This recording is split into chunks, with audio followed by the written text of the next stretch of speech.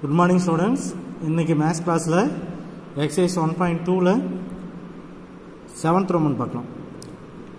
A equal to set of A comma set of A comma B close bracket set எனில் ஏயின் எல்லா உட்கணங்களையும் எழுதுக.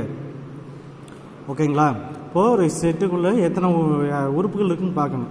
இது ஒரு உறுப்பு இது ஒரு உறுப்பு. ஓகேங்களா அது ரெண்டு உறுப்பு தான் இருக்குது அப்போ எத்தனை எலமெண்ட்ஸ் இருக்குது உட்கு டூ இருக்குது அப்போ M equal to two A equal to A comma set of A comma pin right பண்ணிக்கோங்க. அப்படியே கொஷின் ரைட் பண்ணிக்கோங்க. டூ பவர் எம் எம்ங்கிறது என் ஆஃப் ஏ ஏக்குள்ளே எத்தனை உறுப்புகள் இருக்குது? அப்புறம் ரெண்டு இருக்குது அப்போ டூ பவர் டூ ஃபோர் அப்போ இதனோட உட்கணங்கள் எத்தனை உட்கணங்கள் வரும்? நாலு உட்கணங்கள் வரும். ஒரு கணங்கள் கொடுத்தாங்கன்னா அதுக்கு எத்தனை உட்கணங்கள் வரும்னு கண்டுபிடிக்கிறதுக்கு நம்ம two power M formula use பண்ணிக்கலாம் டூ பவர் எம் எம்ங்கிறது என் ஆஃப் ஏ அப்போ டூ பவர் டூனா ஃபோர் ஏயின் உட்கணங்கள். அப்போ இதுக்கு எத்தனை உட்கணங்கள் வரும்? இந்த ஏங்கிற கணத்துக்கு நாலு உட்கணங்கள் வரும். ஒவ்வொரு உட்கணத்துக்குமே எம்டி வெற்று கணங்கிறது ஒரு உட்கணம் வரும்.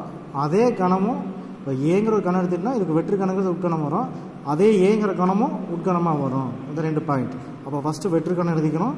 அதுக்கப்புறம் அதே கணமும் உட்கணமாக எழுதிக்கிறது. ஏங்கிறது அப்படியே ரிப்பீட்டாக வரும். அடுத்தது இது ஒரு உறுப்பு இது ஒரு உறுப்பு. அப்போ ரெண்டு உறுப்பு அப்படியே வந்துடுதுங்களா அப்போ ஏன் உட்கணங்கள் அப்படின்னா வெற்றுக்கான ஒரு உட்கணம் ஏங்கிறது ஒரு உட்கணம் ஏக்கமா பிங்கிறது ஒரு உட்கணம் அடுத்தது இது ரெண்டும் சேர்ந்தது ஒரு உட்கணம். அப்போ இதுக்கு நாலு உட்கணம் வந்துருச்சு. ஓகே தட்ஸ் ஆல் அடுத்தது பாருங்கள் எயித் ரோமன் பாருங்கள் பின் வருவனவற்றில் அடுக்கு கணத்தை காண்க. பின் வருவனவற்றின் அடுக்கு கணத்தை காண்க.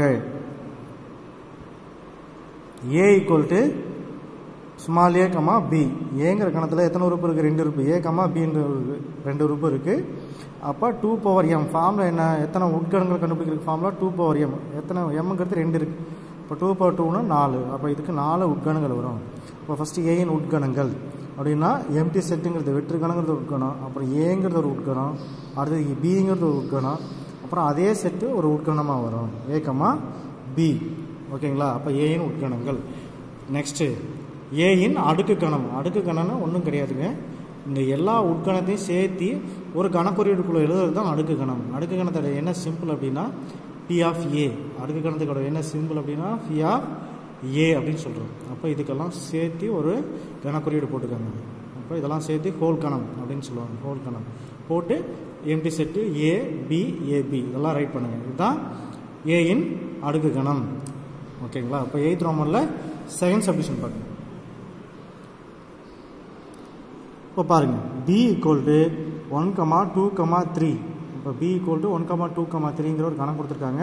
இப்போ இதில் எத்தனை உறுப்பு இருக்குது ஒன் டூ த்ரீ மூணு உறுப்பு இருக்குது என்ன? பி ஈக்குவல் டு த்ரீ ஃபார்மில் என்ன? Two power M two power three equal to eight எட்டு உட்கணங்கள் ஒரு இருக்குது இப்போ ஃபஸ்ட்டு உட்கணங்கள் எழுதிக்கோங்க.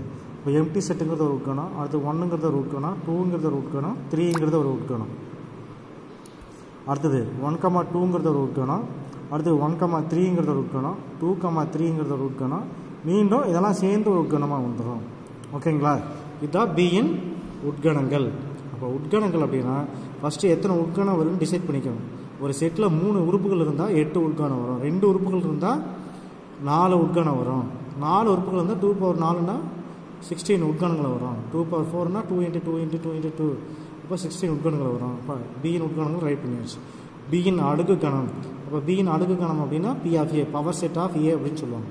பவர் அப்படின்னா அடுக்கு பி ஆஃப் ஏ அப்போ இதெல்லாம் சேர்ந்து ஒரு கணக்குறையை கொடுங்க. இதுக்கெல்லாம் ஹோல் கணம் அப்படின்னு சொல்லுவாங்க. இதெல்லாம் சேர்ந்து ஒரு ஒரு கணக்குறியீடு கொடுத்துருக்கோம். அதுதான் அடுக்கு கணம். ஓகே ஸ்டூடெண்ட்ஸ் என்னோட கண்டினியூஷன் நெக்ஸ்ட் வீடியோவில் பார்க்கலாம்.